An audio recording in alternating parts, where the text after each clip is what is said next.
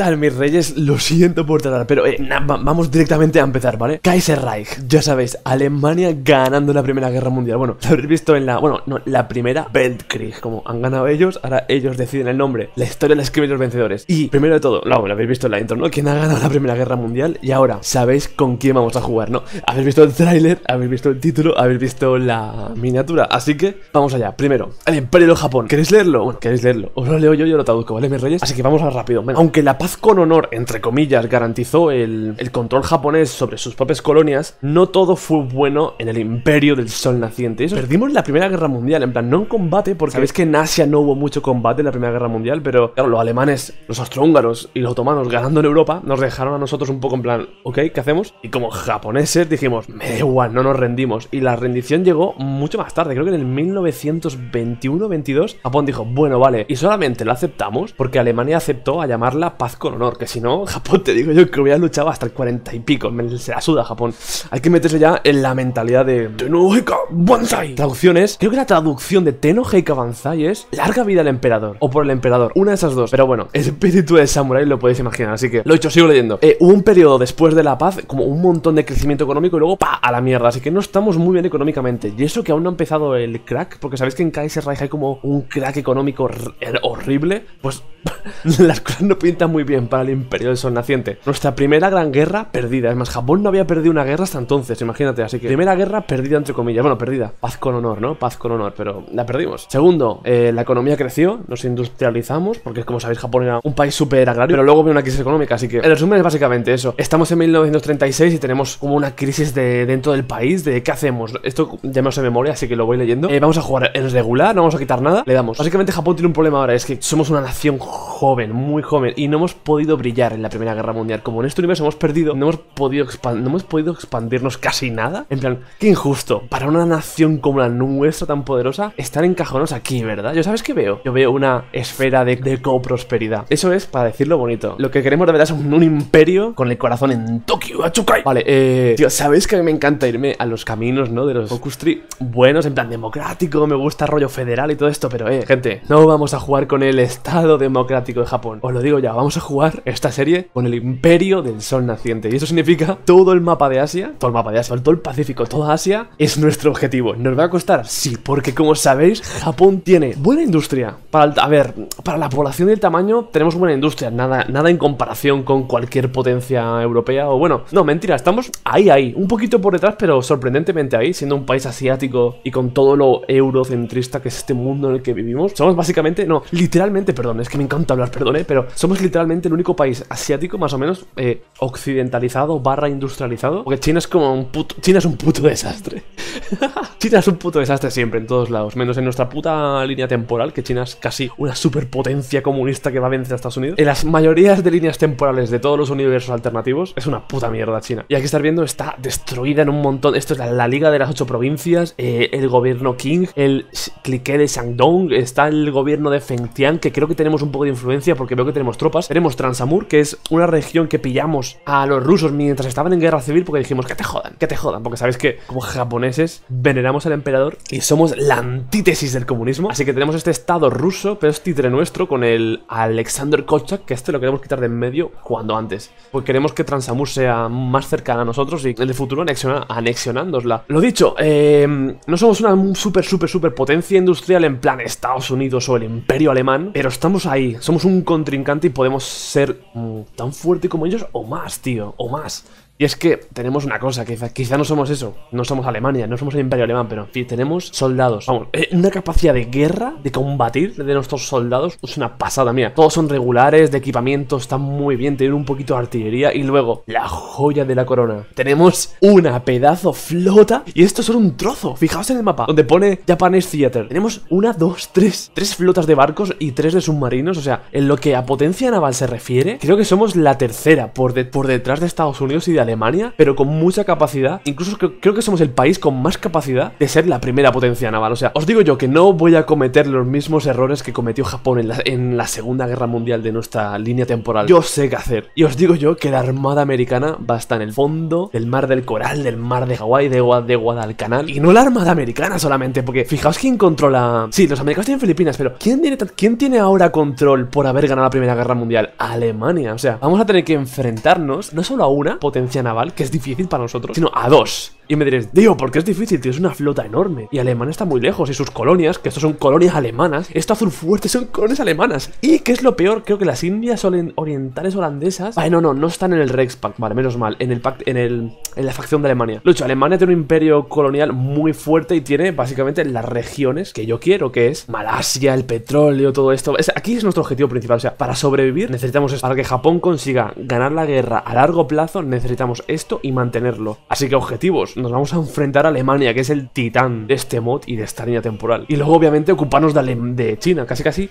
La prioridad está a la par, porque es básicamente nuestra área de expansión natural, ¿sabes? Los japoneses en... Aquí, dato histórico, se sentían los asiáticos superiores, tenían como la necesidad moral del espíritu del samurái de gobernar al resto de asiáticos, ya sean chinos, ya sean de Manchuria, ya sean de Indochina, ya sean de Indonesia, ¿sabes? Somos nosotros los asiáticos superiores. Obviamente hemos creado el anime. Bueno, aquí aún no hemos creado el anime, pero si nos tiran dos bombas atómicas, lo, lo crearemos. Así que, eh, lo que me decía antes, que me he ido, tío. Mm, tío, eh, tenemos una flota enorme. Digo tenemos porque esto lo jugamos juntos, lo jugamos juntos. Tenemos una flota enorme. Y os digo, sí. Y podemos reventar a Alemania también, ya Estados Unidos también. ¿Sabes cuál es el problema? El mismo que, perdón, Japón en la primera en la Segunda Guerra Mundial. El combustible. Tenemos nada. Eh, chavales, cuando digo nada, mis reyes, nada. No tenemos, tenemos el de Sakhalin, que son 7 y ya está. Vamos a tener que centrar mucha de, gran parte de nuestra industria en construir refinerías para poder soportar una fuerza aérea, ya que Japón lo que más fuerte tiene, lo vamos, y ya, veréis cómo lo vamos a disfrutar, es su fuerza naval y su fuerza aérea. Tenemos, tenemos los mejores barcos, los mejores aviones, los mejores portaaviones, pero no tenemos combustible con que llenar esos vehículos. Así que tenemos que sacrificar mucha industria que me vendría bien para fábricas militares, la tendré que sacrificar para hacer refinerías. Pero bueno, esto nos permitirá ser un poquito más independientes dependientes del petróleo de Malasia y de Indonesia que aún no tenemos, ¿sabes? Así que hay que un poco que subsistir. Así que la flota, a pesar de lo grande que es, vamos a tener que usarla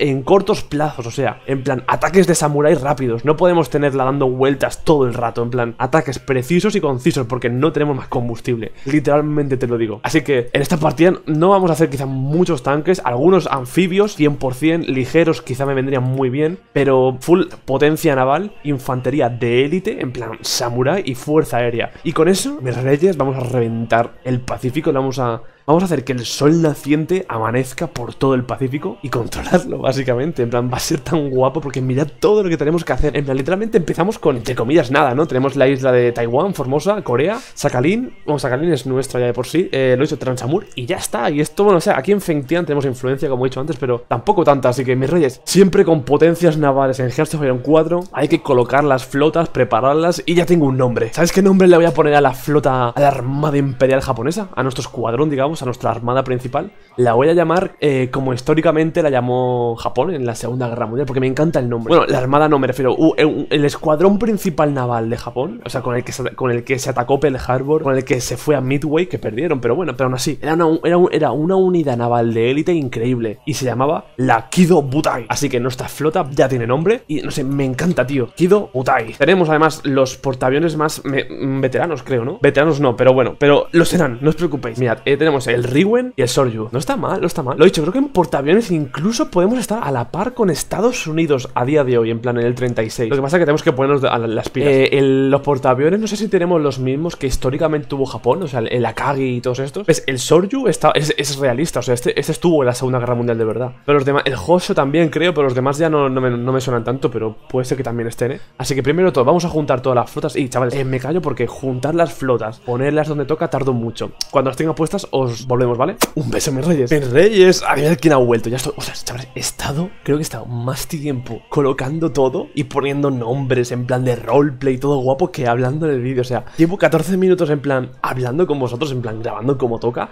Y llevo lo mismo, pero haciendo todo esto. Así que, eh, vamos a esperar. Primero, el teatro de guerra tiene nombre. Eh, Nihon Teko Rekun. Eh, no me acuerdo qué era, pero creo que he puesto. Es que lo he puesto con el traductor. Eh, básicamente, el teatro de guerra se llama ah, Ejército Imperial Japonés. Básico. Luego tenemos nuestro ejército principal con nuestro mejor general, Yamashita Tomoyuki. En plan, hay que decirlo así, si no, no, no, tiene gracia jugar como Japón, ¿vale? Tienes que sentir la sangre de los kamikazes y de los samuráis corriendo por tus venas. Básicamente, sin duda, nuestro mejor general, fijaos, no tengo que decir nada, mirad qué pedazo de ejército, o sea, ¿eh? Ahora mismo, si, si me dejaran ahora mismo, si pudiera, porque es Kaiserreich y no puedo, pero si pudiera, me comía toda China solamente con esto, tío.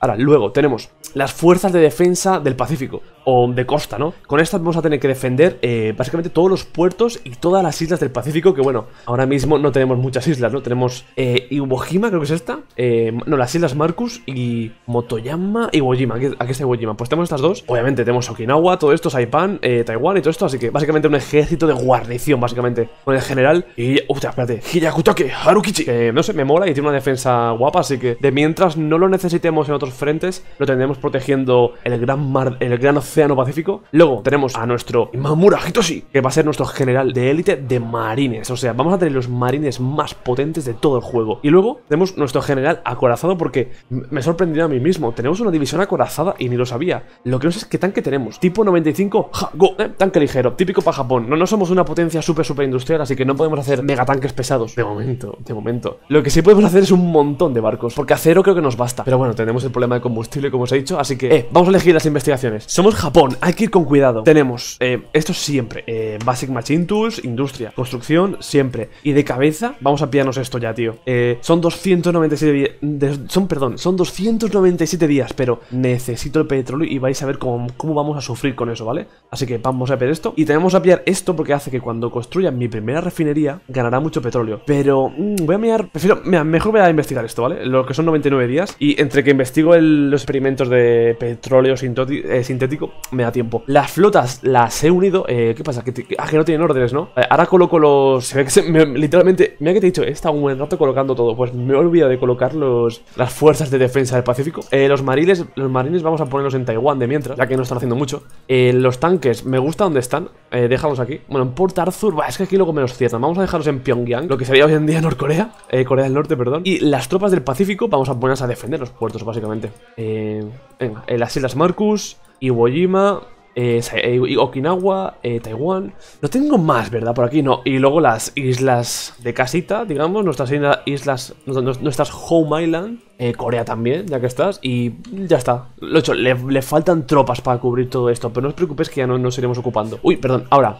Eh, industria, como aún no tengo investigado lo de esto sintético, vamos a hacer fábricas civiles, que siempre lo que hay que hacer, así que vamos a hacer todas las que podamos. ¡Ostras! ¡Mis reyes! No me acordaba, estoy jugando con el mod, pero actualizado para el DLC de No Step Back. Así que no solo vamos a estar súper contraídos por tener que construir, perdón, por tener que gastar capacidad industrial que podríamos usar en otras cosas, en construir refinerías sintéticas, sino que vamos a tener que estar pendientes de construir suministros. ¡Madre mía! Lo he dicho, jugar con Japón es a la vez súper OP y a la vez súper jodido, es muy jodido. Así que vamos a intentar no morir con el sistema de suministros que creo que estás viendo. Ah, no, por, por primera vez no, porque joder, lo viste ya en la partida con la Unión Soviética, con el, el Soviet Supremo y con, esta, y con Lenin. Pero bueno, la putada es que Asia no es Europa, Asia está mucho menos, con mucha menos infraestructura. Así que esto va a ser otra carga a nuestra industria que tampoco es tan grande como estáis viendo. Tenemos 16 fábricas civiles de momento. A ver, ostras, tampoco me había olvidado de todo esto. A ver, tanques, vale, dos fábricas para tanques, incluso diría una, en plan, cuatro a la semana. Vale, me parece bien. Eh, nos tenemos que centrar en hacer barcos. Y que por cierto, no estoy haciendo ningún barco, ¿qué, tío? Me cago en vuestra madre, madre mía, pues hay que ponerse, hay que ponerse ya a ello. Eh, portaaviones. Cuestan un montón de todo, pero necesito portaaviones. Me cuesta 9000, guau, son 9000, tío. ¿Cuánto, sa- ¿Cuánto tardo en hacerlo? Para el diciembre del 37. Buah, esos son, chavales, son dos años, eh, chavales, son dos años eso, tío. Pero me van a venir muy bien, tío. Me van a venir muy bien. Vamos a hacer los clases Orju. O hacemos también los clases Ruyen. Pues cuesta menos. ¿Cuánto tardo en hacer un Ruyen? Lo tengo en el 38, porque en el 38. Ah, porque me falta acero. Ostras, madre mía. Lo repito, Japón está muy justita, tío. Está muy justita.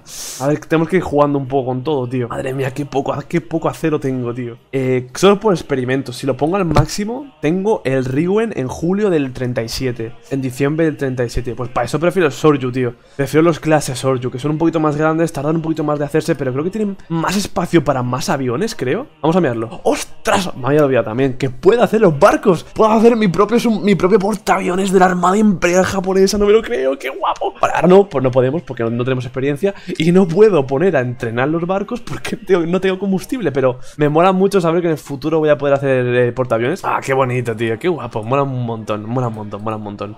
¿Cuántos aviones puedes tener? ¿Cómo se miraba eso? Uy, no, pero no empieces a ver ya, joder. Vale, deck size, eso es como el tamaño de lo...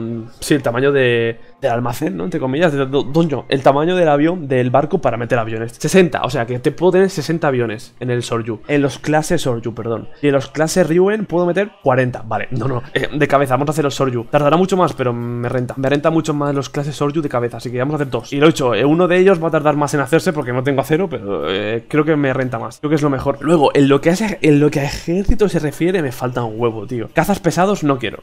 sé que tienen mucho, mucho alcance y nos va a venir bien porque, fijaos, vamos a tener que cubrir unas distancias. O sea, los suministros van a ser una pesadilla. Pero mm, prefiero guardarme el aluminio para hacer bombarderos navales, sí. Bombarderos tácticos también. Eh, cazabombarderos también. Cazas, obviamente. El cero y todo estos. Y no estoy produciendo aviones de, de, portaaviones, que son diferentes. Hay que hacer, son diferentes, ¿ves? Son, son como. Tiene un simbolito de un portaaviones y como que cuestan. No, cuestan más en producción. Pero lo dicho, no vamos a perder nunca tantos aviones de portaaviones como aviones de verdad, digamos, de que están en aeropuertos terrestres. Así que vamos a dedicarles muy pocas fábricas, pero por lo menos una fábrica a cada tipo de avión que tengo. Y si no me equivoco, tengo tres tipos de aviones, ¿no? Claro, eso en la Segunda Guerra Mundial era casi siempre así. Los portaaviones tenían cazas, cazabombarderos, que eran bombarderos en picado, y torpederos, que son eh, bombarderos navales. Así que vamos a hacer una fábrica para cada tipo de avión. Eh, bombardero, no, venga, ¿dónde están los bombarderos, los torpederos? Aquí, Carrier Naval Bomber, una, una, una fabriquita. Unas factorías para ti, mi rey. Y luego era eh, bombardero en picado naval. ¿Esto dónde está? Naval Bomber, Carrier Cast, Close Air Support...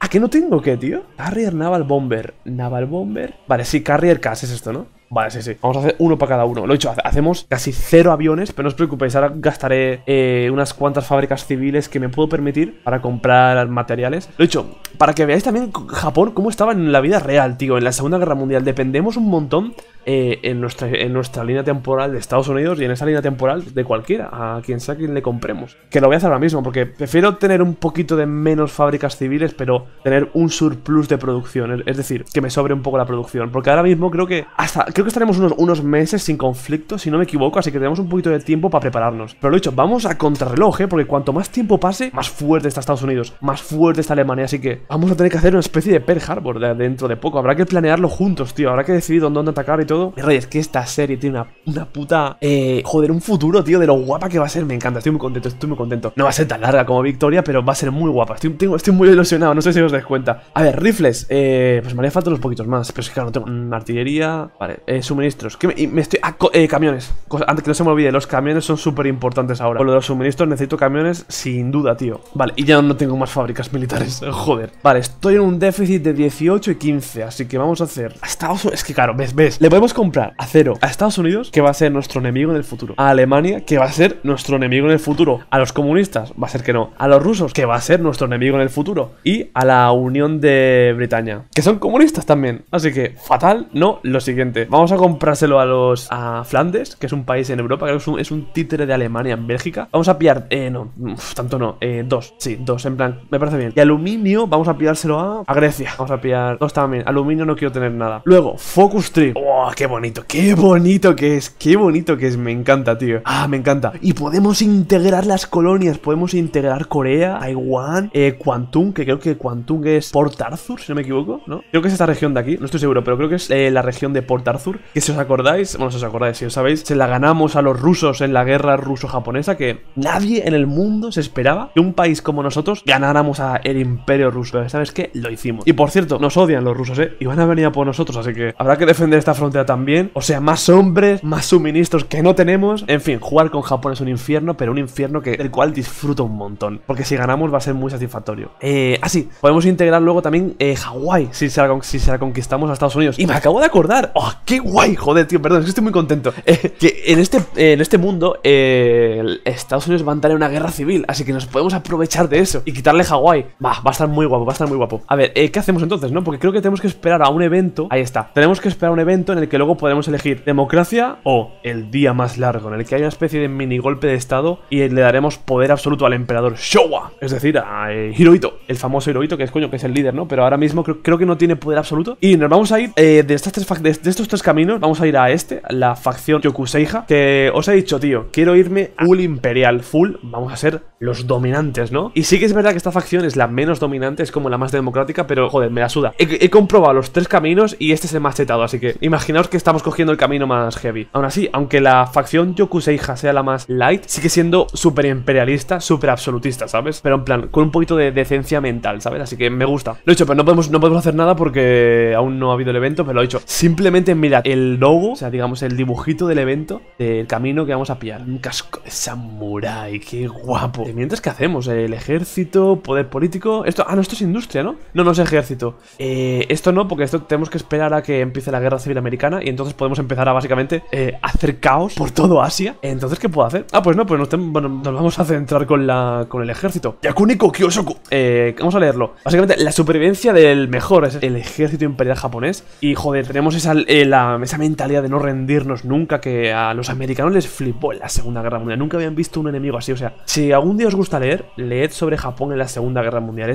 El frente del Pacífico es totalmente diferente al de Europa. Es otro mundo. El cómo luchan los japoneses es que eso es el espíritu del samurái en plan hasta el final, ¿sabes? Así que vamos a darle caña. Esto me dará más 75 de poder político, así que nice. Y lo he dicho, mi reyes, en plan, este primer episodio no vamos a ir a por Hawái ni a invadir eh, Manchuria ni China. Sé que os encantaría, sé que os encantaría que empezáramos a invadir Manchuria, ir a por Pekín y todo esto, pero simplemente esto era para preparar todo, así que mis reyes, episodio que simplemente digamos introductorio. Eh, no tardaré tanto en subir el segundo, pero es que he tenido cosas personales, por así decirlo, en plan un poquito putada, putada, pero bueno, se sigue para adelante, estamos todos bien. Hay que intentar seguir, ¿no? Así que mis reyes, lo siento por Debería haberlo explicado al principio, ¿no? Que son cosas que son por personales, por lo que he tardado, pero bueno. Ya llega hasta aquí, mi rey. Un besazo. Espero que vayas a disfrutar de esta serie como estoy disfrutando yo, porque creo que he estado fangirleando y hypeando durante 30 minutos y aún no hemos hecho nada. Más que, más que colocar un poquito la industria, las fábricas, el ejército y la armada. Así que, mis reyes, aquí estamos en el Imperio del Sol Naciente en Tokio. Y nos vemos en el siguiente episodio que no os preocupéis, no voy a tardar dos semanas. De verdad lo digo, ¿vale? Así que, me reyes. Un beso y espero que tengáis ganas de guerra, porque el Imperio del Sol Naciente tiene ganas de expandirse por el Pacífico. Me reyes, un beso. Lo siento por tardar. Os quiero mucho. Descansad que os lo merecéis. Seguro que habéis tenido un día duro. Relajaos, porque lo vuelvo a repetir. Os lo mereces, te lo mereces. Mi rey, te lo mereces. Descansa, mi rey. Para el que siente envidia, no importa.